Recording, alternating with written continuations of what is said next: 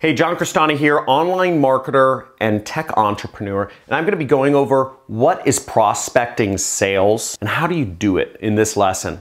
Now, I've done a lot of sales in my time. My first job ever was actually doing sales. And I'm gonna be talking about prospecting, which is the very basic thing. It's getting leads. And what the definition of prospecting is, if you actually just wanna look it up, is when you make outbound calls or send emails to basically find leads, to find people who are interested to create opportunities for yourself. Prospecting is the first step. Generally, it goes, the way things go is you do you prospect for a lead, you find you you find somebody who's interested, which is called a lead, and then that lead is pitched or sent to a closer to close a deal, right? So we have the three stages of sales here and everything starts with getting finding people that are interested. Everything starts with finding people that are interested in talking to you and eventually buying the product or service. And what I'm gonna be going over in this video is what sales prospecting is, how to do it, how I would go about it, how I've gone about it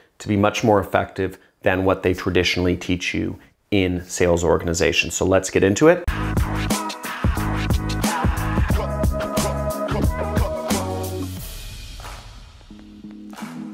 Now, generally, how sales prospecting is done is sales reps will send out a bunch of emails or a bunch of calls to find people who are interested in their product or service. So let's say I was selling nut butter.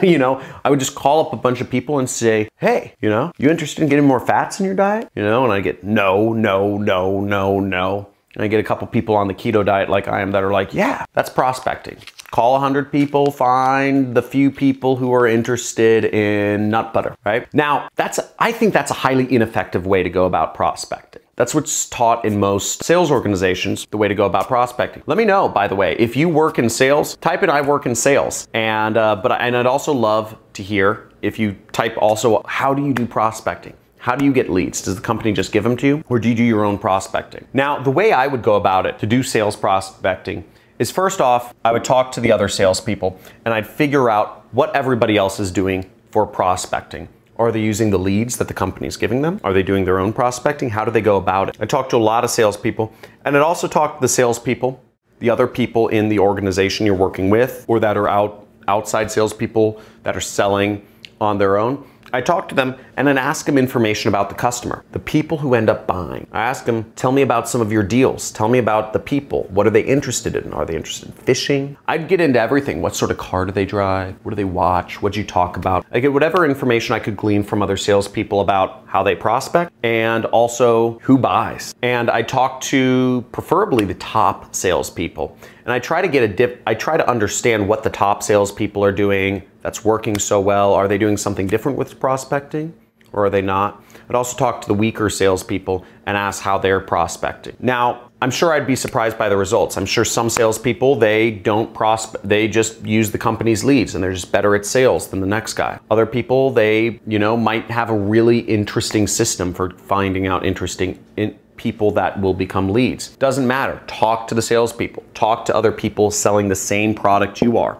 And for those of you that follow me in affiliate marketing, the prospecting is very similar to targeting. Talk to other affiliates if you can. Do competitive research. Figure out your customer. Now, the next step I would do is I'd get really creepy, super creepy. I'd get unbelievably creepy. But and I'd go direct to the source. I'd look at, I'd figure out the people who have bought whatever you're selling. I don't care if you're selling Salesforce or if you're selling kitchen appliances or if you're selling interior decorating, you know, consultations get creepy. The people who are actually buyers, the people who are actually using the product or service, I'd look at their Facebook profile.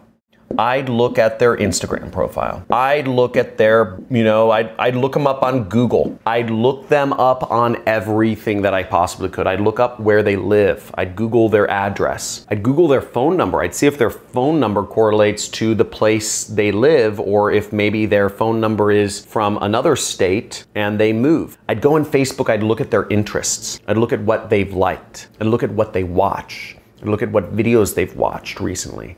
I'd look at everything about the person. I'd I'd reverse engineer what age they were. I try to find where they went to high school. I want to know everything about the customer. Okay?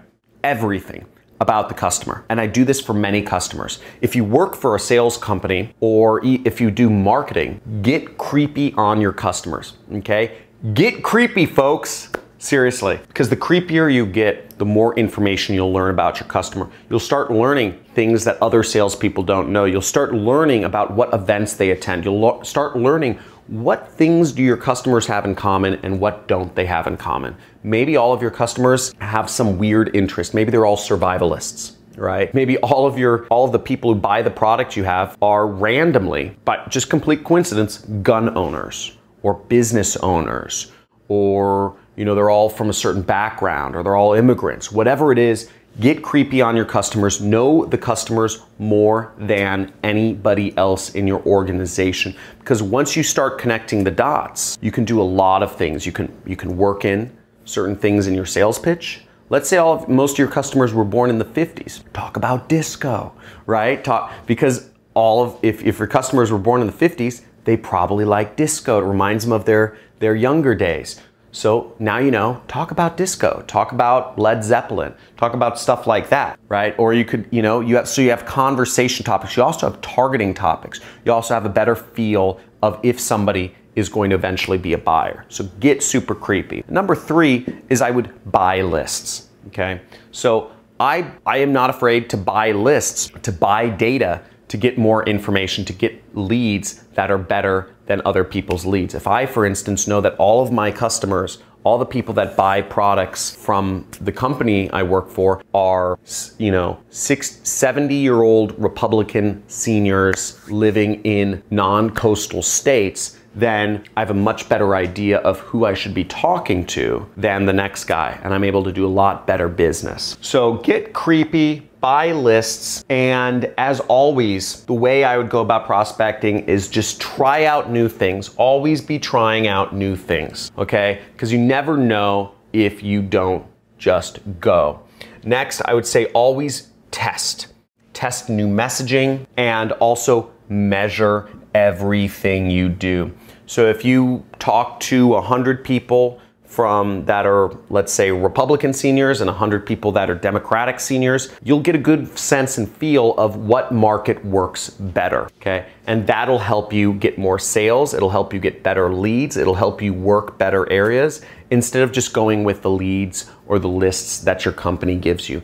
Know the customer better than anybody else and you will succeed. If you'd like to learn more about how to do marketing, how to make money, how to do sales, check out my, you know, make sure you subscribe to my channel. I talk about this every single day, literally five days a week. Give it a subscribe, hit the notification bell so you're aware of my question and answer sessions. I'm always doing or I'm sometimes doing question and answer sessions live, but you can only learn about them if you if you're notified.